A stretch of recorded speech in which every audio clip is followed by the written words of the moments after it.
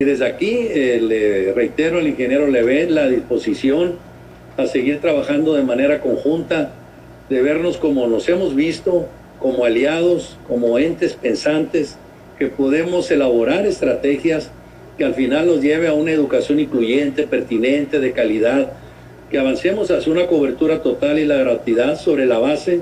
de no poner en riesgo la estabilidad de la institución, de garantizar el presupuesto que se requiere, los salarios dignos y a tiempo de los trabajadores